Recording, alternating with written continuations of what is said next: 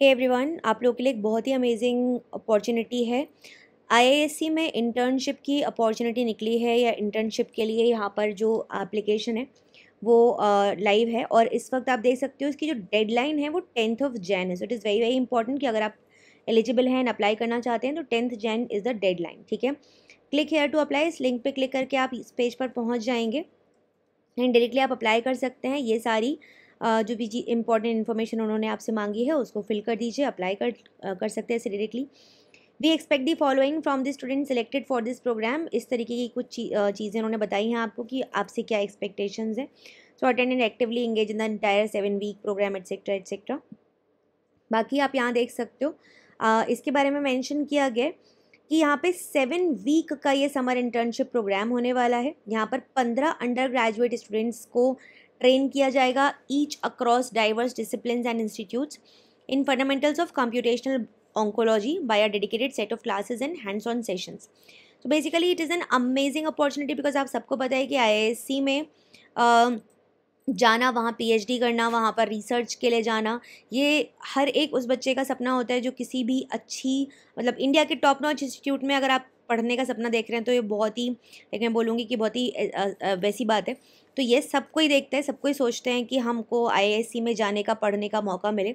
और अगर आपको इंटर्नशिप करने का मौका मिल रहा है और वहाँ से उसके बेसिस पर आपका सीवी बहुत स्ट्रॉन्ग हो जाता है एंड फॉर पी एच जब आप अप्लाई करेंगे तो डेफिनेटली आपके चांसेस काफ़ी ज़्यादा होंगे सिलेक्शन होने के उसके बेसिस पर। तो आप देख सकते हैं, ये आपका हो गया इसके बारे, अलावा ज़्यादा डिटेल्स के लिए आप इस पेज पर डायरेक्टली पहुँच सकते हैं, ठीक है?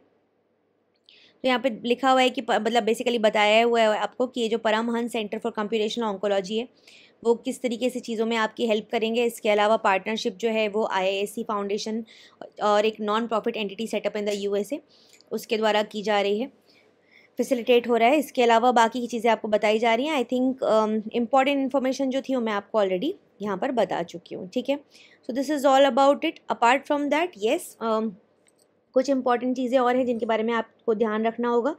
जैसे कि सबसे फ़र्स्ट पॉइंट मैं यहाँ पर बोलूँगी कि प्रोग्राम की जो डेट होगी वो आपकी 20 मई से लेके पाँच जुलाई तक होगी, जैसे यहाँ पर मेंशन किया गया है।